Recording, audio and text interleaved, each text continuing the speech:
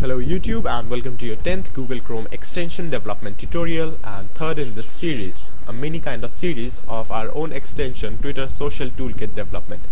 So in the last tutorial we learned about how to create our own context menus on the basis of selection of user and here we are and to alert a message. Now let's create this application a little bit dynamic and let's apply this function with the parameter selected text and let's alert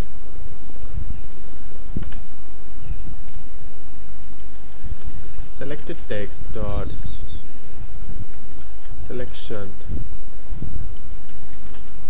text. Now what it does is it would alert the text the user has selected so let's see it in action. And let's reload this application and here we go.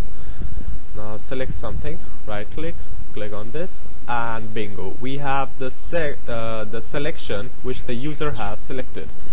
So let's click in this and we get the whole sentence. Now using this we could pass this text to the Twitter handle and we could do something like this. I'll show you now in Twitter we have I guess we do have yeah. So we have share text is equal to abc let's see. If you load this page then Twitter would automatically fill this text into a text box for you where we supply this abc parameter. So let's remove this and let's copy this URL and let's say chrome dot tabs dot create c r e a t e and URL should be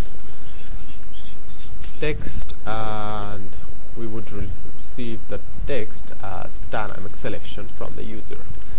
So here we go. Let's comment out this line. Uh, let's see if it works. Right reload this. Right click click on this. And bang. We got our selected text inside the box the box of the user.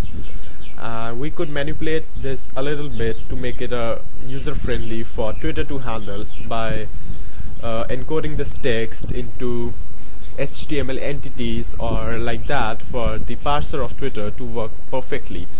So now using this API we were able to select this text and on clicking this we were able to share this on Twitter. So in the next tutorial we'll be discussing about how can we differentiate between a text selection and a normal page or right click page and on the link right click and all that stuff. So stay tuned with me and don't forget to subscribe